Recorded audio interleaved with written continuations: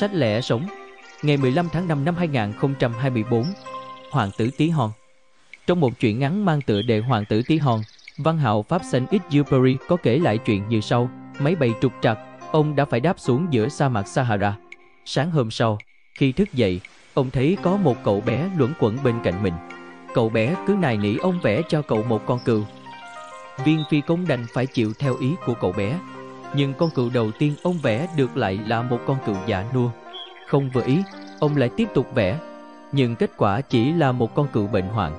Không biết cách nào làm vừa lòng cậu bé Ông mới vẽ một cái hộp với nhiều lỗ xung quanh và nói với cậu Con cừu đang ở trong cái hộp này bé à. Viên phi công ngạc nhiên vô cùng Bởi vì ông vừa giải thích thì cậu đã reo lên. Đây chính là điều mà cháu đang chờ đợi. Xem kìa, con cừu đang ngủ.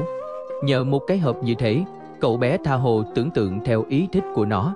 Nó còn tin rằng cái hộp này quả thực là hữu ích vì con cừu mà nó chưa bao giờ thấy vẫn có nơi trú ngụ.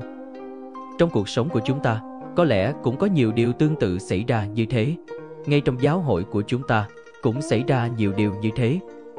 Có lẽ lắm khi chúng ta cũng xin Chúa Giêsu hãy vẽ cho chúng ta một giáo hội và Ngài đã chịu theo ý của chúng ta.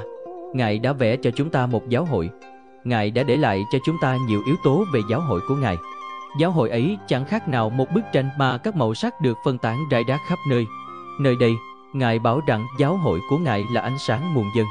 Nơi khác nữa, Ngài lại loan báo rằng giáo hội đó như một cây vĩ đại có thể dùng làm chỗ cho chim trời đến đậu.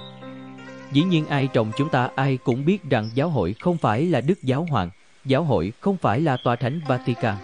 Giáo hội lại càng không phải là một vị giám mục hay các linh mục Giáo hội của Đức Kitô là một thực tại gồm những con người, nhưng lại vượt lên trên những con người.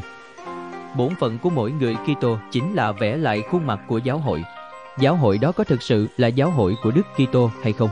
Giáo hội đó có thực sự là giáo hội của người nghèo hay không là tùy thuộc ở những nét điểm tô mà chúng ta dành cho giáo hội.